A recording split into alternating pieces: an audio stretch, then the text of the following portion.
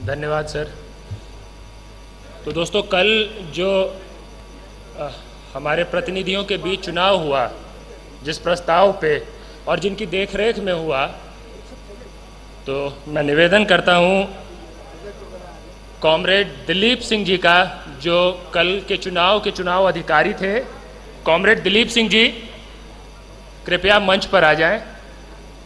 और कॉमरेड दिलीप सिंह जी के अलावा अन्ना खंडारे जी। अन्ना खंडारे जी और कॉमरेड दिलीप सिंह ये दो कल के जिस प्रस्ताव पर वोटिंग हुई उसके चुनाव अधिकारी थे। आगे सर। चेयर चेयर जल्दी करिए जल्दी करिए लोग बेचैन हो रहे हैं। क्या हाँ? रिज़ल्ट बताना है। हाँ, हाँ। मैं हमारे राष्ट्रीय अध्यक्ष प्रोफेसर आनंद कुमार जी से निवेदन करूँगा कि जो परिणाम जिसकी उत्सुकता कल से है हमें हम सबको है वो हमारे सामने रखें। प्लीज़ सर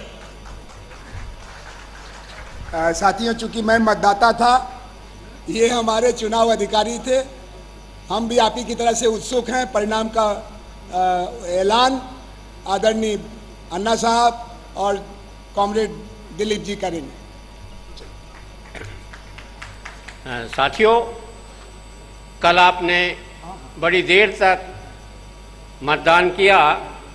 कुल 433 433 लोगों ने मतदान किया। उनमें से 405 सहमत हैं, एग्री। टू सिक्स डिसएग्री असहमत two six disagree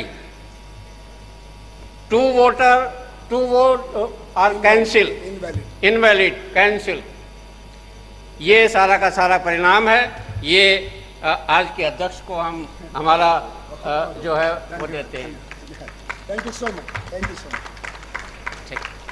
साथियों The result is announced after much deliberation. The recommendation of the House is, which had 433 delegates present who participated in the voting, that Swaraj Abhiyan must go forward with full energy and honesty and transparency and commitment to create a political body for political intervention in the electoral arena also. ये फैसला आया है कि 433 में से 405 लोगों ने कहा कि संगठन तो बन गया इसकी एक राजनीतिक बाजू भी होनी चाहिए जो चुनाव में चल रहे धंधे को रोके बेईमानों को हराए ईमानदारों को लेकर के आगे जाए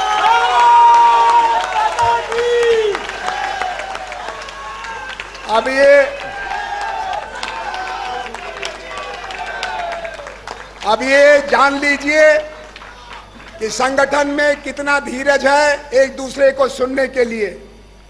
हर राज्य की अलग अलग बैठक हुई थी। हर राज्य के एक एक प्रवक्ता आए थे। कल जो नहीं थे, उनको बताना ज़रूरी है कि कल की रात बहुत शानदार रात थी। राजनीतिक हिस्सेदारी का ऐसा नमूना बहुत कम देखने को मिलता है।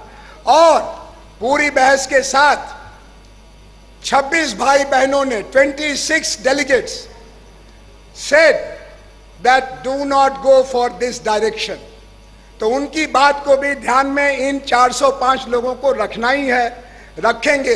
I assure those 26 six dissenting men and women that Swaraj Abhiyan and the special committee created to do the follow up will be honest to your message also. Will respect your dissent. एक की भी आवाज़ सुननी होगी, नहीं सुनोगे तो महाभारत में हार जाओगे। अगर महाराज धृतराष्ट्र ने उस भयंकर सभा में एक आवाज़ थी विदुर की, अगर विदुर की बात सुनी होती तो द्रौपदी का चीरहरण नहीं होता। अगर विदुर की बात सुनी होती तो अन्याय का राज नहीं चलता। और अगर विदुर की बात सुनी होती तो यही इंद्रप्रस्थ खून से नहाता नहीं। तो हमारे पास तो 26 विदुर हैं, हम उनको सम्मान देते हैं, उनको प्रणाम करते हैं। ये काम बहुत बड़ा है। प्रस्ताव पास करने से पार्टियाँ नहीं बनती। लोगों को जोड़ना पड़ता है। तामसिक लोगों में वासना ऐसी होती है कि एकजुट हो जाते हैं। कुछ लूटना है, कुछ हासिल करना है। यह जो वैकल्पिक राजनीति का औज़ार बनाने का फैसला है, ये तो देने का है, बिकने का है, गर्दन कटाने का है, इज़्ज़त गंवाने का है। इसमें बड़े धीरज की ज़रूरत है, क्योंकि सात्विक लोगों में सब अच्छाई होती है, एक बहुत बड़ी बुराई होती है कि वो बड़े अहंकारी होते हैं। कहते हैं, जाओ जाओ हम अपने रास्ते चल रहे हैं। इनको जोड़ के चलाना बड़ा मुश्किल होता है। इसके लिए हमने एक शानदार कमेटी बनाई है अनुभवी लोगों की, जिनके पीछे 30 से 40 साल की राजनीतिक तपस्या का इतिहास है। अभी हाल में जिन्होंने एक ऐसा प्रयोग किया था, ऐसी पार्टी बनाई थी, जिसने दिल्ली वालों का दिल जीत लिया था। अब ये अलग बात है कि उस पार्टी पर कब्जा ऐसे लोगों का हो गया जिनके पास दिल ही नहीं है, खाली कुर्सी की वासना है और वो लेके भाग गए। इनकी जेब दिल्ली स्टेशन पर कट गई, बस अड्डे पर कट गई। बिना पूंजी के हो गए। सोचा कि इनको पैदल कर देंगे, भीख मांगेंगे ये लोग। आज फिर इतने लोग खड़े हो गए इनके पीछे और आगे बढ़ने के लिए खड़े हो गए।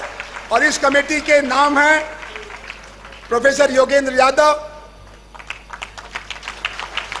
भाई राजीव गोदारा भाई सुभाष लोमटे, मजदूर नेता, भाई ललित बाबर, वंचित भारत के नेता, नौजवानों के नेता भाई अनुपम, और इसका संयोजन करेंगे दिल्ली विश्वविद्यालय के प्रोफेसर, हमारे नेता, हमारे महामंत्री रह चुके डॉक्टर अजीत झा। ये कमेटी बनाई गई है, और ये कमेटी सरकारी कमेटी नहीं है। इसको दो महीने में नतीजा देना है। Within two months by second October this resolution commit Swaraj Abhiyan to make the people confident about the future of alternative politics, about the need of an impact, a positive atmosphere, जिससे कि हर लोकसभा चुनाव में हर संसदीय क्षेत्र से वो तो हारे जो काले पैसे के दन पर देश में जनतंत्र का गला घोट रहे हैं। वो तो हारे जो डिवाइड एंड रूल की पुरानी सियासत करते हैं। और धर्मवीर गांधी जैसा आदमी जीते, जो गरीबों का मसीहा हो गया डॉक्टर बन गया, और जो आपको दुआ देने के लिए आया है। तो ये कमेटी है। मैं फिर से बता देता हूँ professor Ajit Jha convener professor Yogendra Yadav, Anupam, Rajeev Godara, Subhash Lomte, Lalit Babar और प्रोफेसर सोमनाथ त्रिपाठी। जिन्होंने महाराष्ट्र, मध्य प्रदेश, बिहार, झारखंड में संगठन को बनाने का काम किया और ये सारे लोग मिलकर के आपको हर हफ़्ते प्रगति की रिपोर्ट देंगे। और 2 अक्टूबर को अगर आप सबकी शुभकामना रही और इसमें हम सबको इनकी मदद करनी है छोटे छोटे दीप पूरे हिंदुस्तान में जल रहे हैं, उसको दिवाली में बदलने का काम इस कमेटी को करना है और वो दिवाली 2 अक्टूबर को होगी, साथियों। इसको मुझे आपके सामने इस कमेटी को पेश करते हुए बहुत खुशी हो रही है। बहुत धन्यवाद। दोस्तों, ये परिणाम तो आपके सामने आ गया और जो जिन तीन पैमानों की बात हमने करी थी, उसमें से ये एक आंतरिक लोकतंत्र का पैमाना था। और भी दो रहते हैं। पारदर्शिता, ट्रांसपेरेंसी। हम अपनी हर महत्वपूर्ण बैठकों, हर महत्वपूर्ण टीम और हर महत्वपूर्ण चर्चा की पूरी जानकारी पब्लिक डोमेन में आज के डेट में रख रहे हैं। भले ही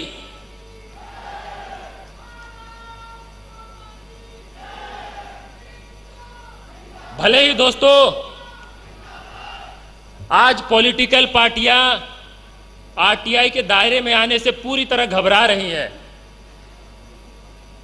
और वो पार्टी भी जो इसी तरह के आंदोलन से निकली, वो भी उसके स्पिरिट का पालन नहीं कर पा रही है। ऐसे समय में संवैधानिक बाध्यता हो या ना हो आज की डेट में, लेकिन स्वराज अभियान ने यह तय किया है कि हम अपना इंफॉर्मेशन ऑफिसर बाकायदा अपॉइंट करके आरटीआई के पूरे स्पिरिट का पालन करेंगे। ये तो पारदर्शिता की बात हो गई भाई। एक और रह जाता है, जवाबदेही। और जवाबदेही का सबसे महत्वपूर्ण और बड़ा मेजरेबल पैमाना क्या है? बताइए, क्या होना चाहिए? एक आंदोलन रामलीला मैदान में हुआ था। किस लिए हुआ था? किस लिए? लोकपाल के लिए। और सबसे कमाल की बात हुई कि उस आंदोलन से जब एक पार्टी निकलकर सत्ता में आ गई तो जब मौका आया कि अब चलो करते हैं, कुछ काम करते हैं तो उसी पार्टी ने उस उस भावना के साथ छलावा कर दिया, धोखा कर दिया। लेकिन आज स्वराज अभियान इस पैमाने पर स्वराज अभियान ने क्या निर्णय लिया है वो भी आपके सामने रखेगा। इसके लिए मैं उस व्यक्ति को मंच पर बुलाना चाहता हूँ जो आज देश दुनिया में भ्रष्टाचार से लड़ने का सबसे बड़ा प्रतीक है। वो नायक जिसने पिछले पंद्रह महीने में स्वराज अभियान को अपना हर कदम नैतिक नेतृत्व दिया है। कौन है दोस्तों वो? प्रशांत भूषण जी से मैं रिक्वेस्ट करता हूँ कि कृपया मंच पर आए। और ये तीसरे पैमाने पर हमने क्या किया है, ये हमारे सामने रखे। दोस्तों, प्रशांत जी